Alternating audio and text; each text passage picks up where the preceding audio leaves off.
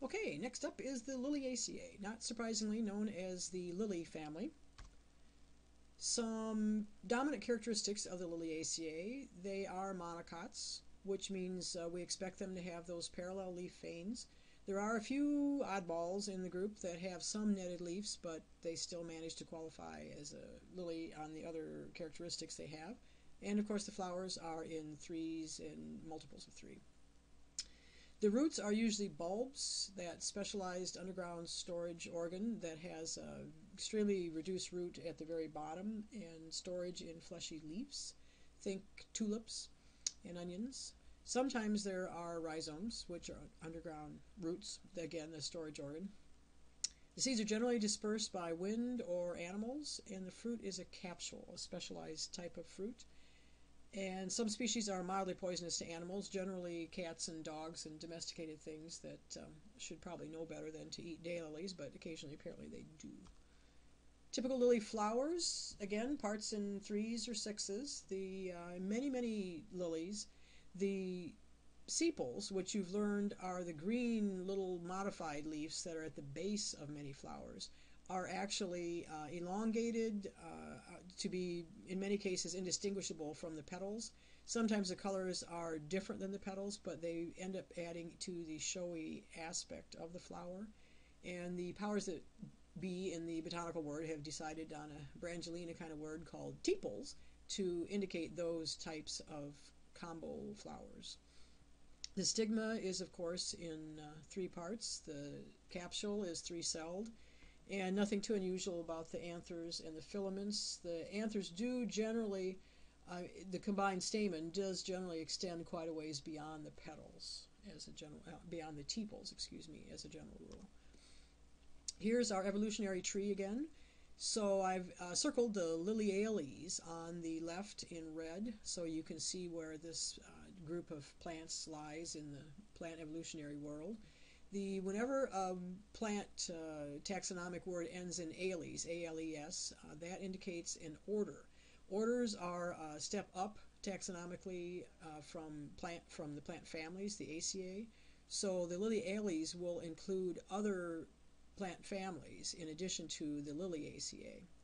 But at any rate, this picture shows you how these uh, these guys rank up against the rest of the world, with the monocots below the dicots, but again uh, above water plants and ferns and things like that. A little bit more taxonomy. They're, of course, in the kingdom Plantae. They're angiosperms, they're monocots, they're liliales, liliaceae. Over 280 genera, which is pretty good size. Uh, many plant families have considerably less than that, although, of course, some have more.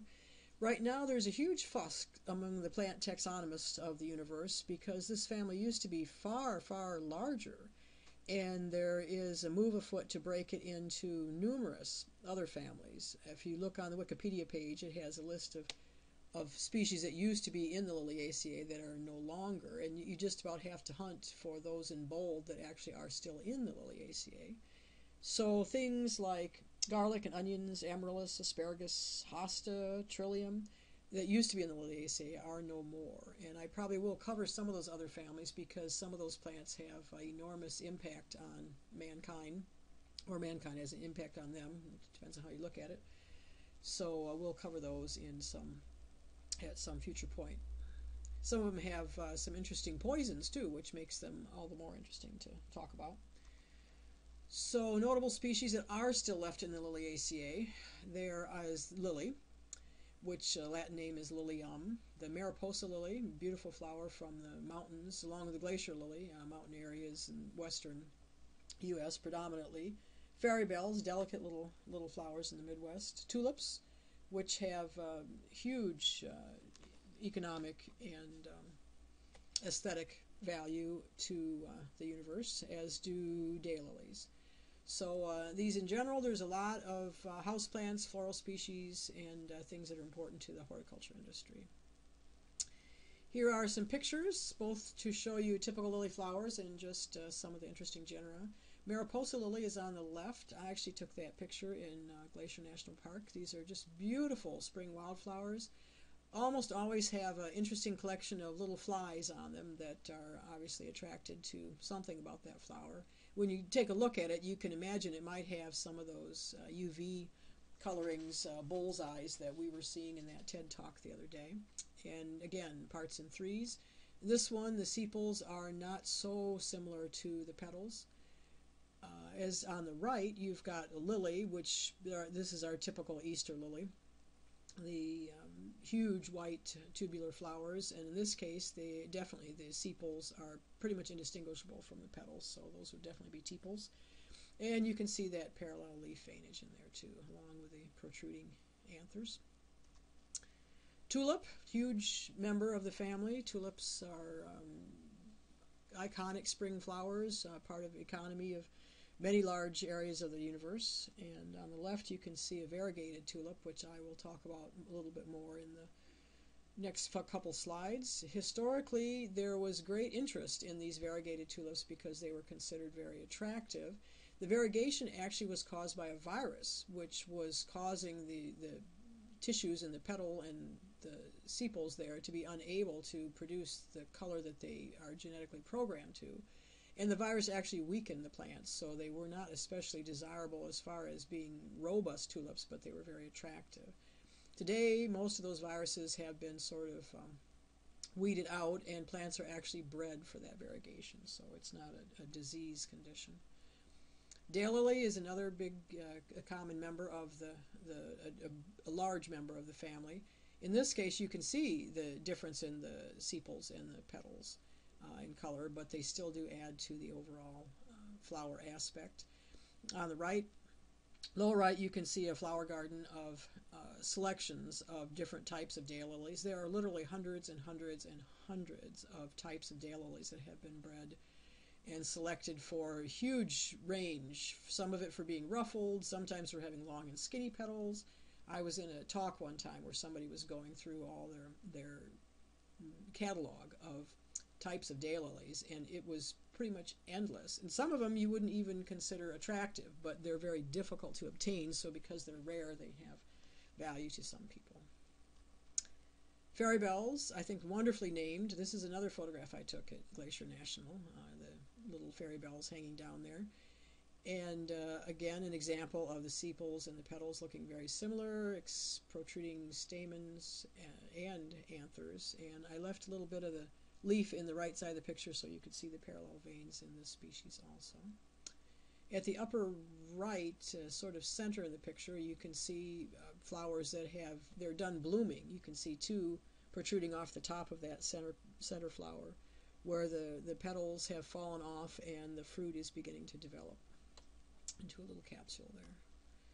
Tulip mania occurred in 1937 in the Netherlands. The tulips had just sort of gotten to the Netherlands at this point in time. Tulips are actually uh, historically from kind of a bullseye on Turkey in the Middle East, although there are some species that actually are over in China and other areas of uh, Western Asia. Uh, however, they had been uh, hybridized and um, selected for and, and been creeping through Europe in the 1600s, and by 1637, there was a huge interest in them in the Netherlands. And uh, in particular, because there just was no flower like this uh, common in the Netherlands. There, their wildflowers and other flowers that they had, this was just so unique that it was so eye catching that there was enormous interest in it. And again, you can see the variegation on this uh, picture that's shown here. That's the Semper Augustus, which was a drawing made in that era. The, those that species is or that uh, variety is no longer available because of the issues with the virus. But this was so prized that it's said that one bulb sold for as much as 10 times the annual wage of a skilled laborer. That has been challenged a little bit by some historians, but it's definitely uh, the case that it was a huge status indicator in, indicator for the rich, not just in Netherlands but in the other European countries, and uh, but that there was a huge uh, fluctuation in prices of this uh, of these tulips in the six, mid 1630s, and it's been called the first economic bubble that when um, the value, the intrinsic value of something becomes separated from what it's selling for, so you know people are going crazy over something and paying far more than it's worth, and whether or not it was the official actual uh, sanctioned by the banking industry as yes, the official first economic bubble. It was very case, very much the case that something happened economically, and then they, the value crashed. And so now, uh, in today's vernacular, people talk about tulip mania as uh, an indication of uh, an economic bubble. So that has entered our our dictionary, whether the exact accurate uh, descriptions of it. It's long enough ago that it's hard to know exactly what happened. The Ottoman Empire in the later years uh, into the 1700s uh, sort of was a similar thing. The uh, having a lot of tulips was definitely a status indicator if you wanted to show people you were rich. Here's a few native Iowa uh, Iowa native lily family members. Uh, this is the dogtooth violet, This is what's commonly called in Iowa. It's not a violet where I grew up in Michigan, it's called adder's tongue, which just shows you how much um, relying on the names of common names of plants uh, will really help you. Latin name is Erythronium americanum. Very, very common in woodlands in the Des Moines area. Sometimes the flowers are not as yellow as those, they're more sort of um, paley white. You could almost imagine a little pink in them, but they do have that same structure, and the leaves are quite distinctive. Wood lily is a good prairie species, not all that big, maybe 15, 18 inches tall. And uh, it has this beautiful orange flower on it. That That's not the product of uh, any kind of genetic manipulation or selection. It's just how it came to us. And the Michigan lily is also native to the state. These large, bouncy flowers on it. This one is growing in someone's garden. They're challenging to grow in your garden because there's just about nothing deer-like better than to nip off those buds. Just you watch that in your garden for weeks, and then just when it's ready to open, all of a sudden they get all nipped off. But somehow this is a deer-proof garden where they were able to uh, produce this showy, showy show. I mentioned toxicity. They're not uh, horribly poisonous, and in particular, it's it's felt that they're fairly bitter, and so the chances of anybody or like a child uh, eating much of them are, are fairly low. Uh, they're even one of the stories with the tulip mania that presumably some guy got put in jail because he ate somebody's tulip thinking it was an onion. That's challenged in that it's uh, harsh enough tasting that it would be hard to imagine that somebody would would accidentally eat the whole thing. But there is the occasional cat's, horse, dog, cow that uh, manages to eat enough to cause a little uh, indigestion. So for more information, if you're interested, of course, the Wikipedia Wikipedia page is always a good, uh, interesting place to start. There's many, many, many other references out there. If you want to spend a lot of time looking at all the fuss over what's exactly a lily and what isn't, um, feel free. There is a North American Lily Society. Uh, people that are interested in the, the cultured lilies, obviously, these would be the horticultural and the floral people. And interestingly, the Iowa Regional Lily Society is going to host the North American Lily Society annual meeting in Des Moines this June. So if you want to meet uh, some of those people or just know more about lilies, there's an opportunity for you. So that will conclude our Liliaceae study.